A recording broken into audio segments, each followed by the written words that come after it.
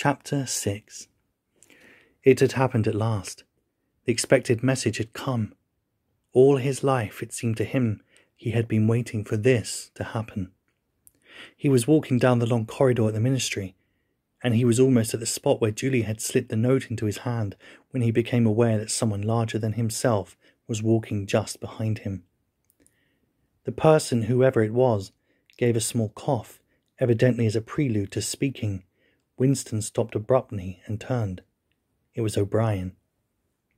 At last they were face to face, and it seemed that his only impulse was to run away. His heart bounded violently. He would have been incapable of speaking. O'Brien, however, had continued forward in the same movement, laying a friendly hand for a moment on Winston's arm, so that the two of them were walking side by side.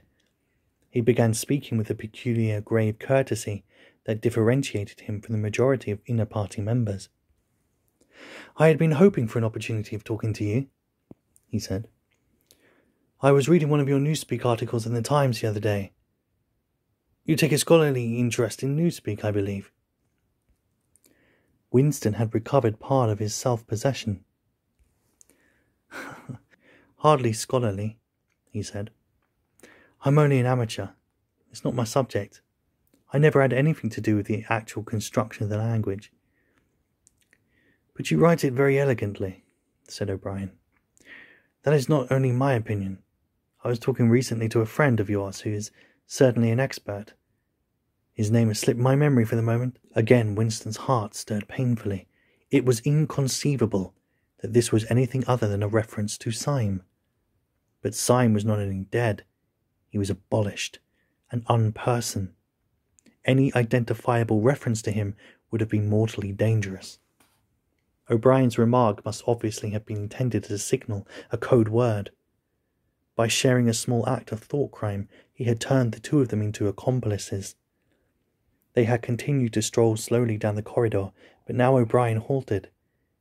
With a curious, disarming friendliness that he always managed to put into gesture, he resettled his spectacles on his nose. Then he went on. What I had really intended to say was that in your article I noticed you had used two words which have become obsolete. But they have only become so very recently. Have you seen the tenth edition of the Newspeak Dictionary? Nah, said Winston. I don't think it's been issued yet. We're still using the ninth in the records department. The tenth edition is not due to appear for some months, I believe, but a few advance copies have been circulated. I have one myself. It might interest you to look at it, perhaps. Very much so, said Winston, immediately seeing where this tended. Some of the new developments are most ingenious. The reduction in the number of verbs. That is the point that will appeal to you, I think. Let me see, shall I send a messenger to you with the dictionary? But I'm afraid I invariably forget anything of that kind. Perhaps you could pick it up at my flat at some time that suited you. Wait, wait, wait, let me give you my address. They were standing in front of the telescreen. Somewhat absent mindedly, O'Brien felt two of his pockets and then produced a small leather covered notebook and a gold ink pencil.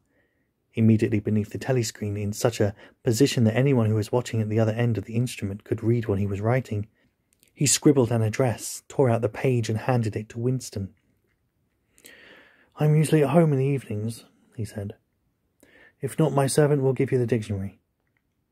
He was gone leaving Winston holding the scrap of paper, which this time there was no need to conceal.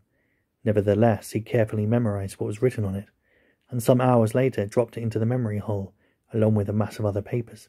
They had been talking to one another for a couple of minutes at the most. There was only one meaning that the episode could possibly have. It had been contrived as a way of letting Winston know O'Brien's address.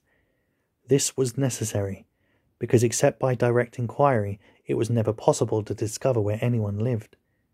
There were no directories of any kind.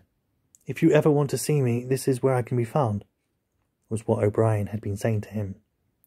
Perhaps there would even be a message concealed somewhere in the dictionary, but at any rate, one thing was for certain. The conspiracy that he had dreamed of did exist, and he had reached the outer edges of it. He knew sooner or later he would obey O'Brien's summons. Perhaps tomorrow, perhaps after a long delay. He was not certain.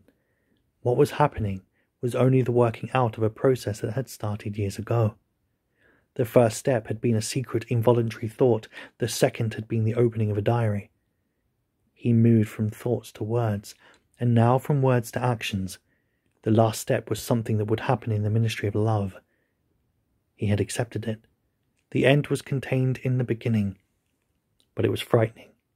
Or more exactly, it was like a foretaste of death, like being a little less alive. Even while he was speaking to O'Brien, when the meaning of the words had sunk in, a chilly, shuddering feeling had taken possession of his body. He had the sensation of stepping into the dampness of a grave, and it was not much better, because he had always known that the grave was there and waiting for him.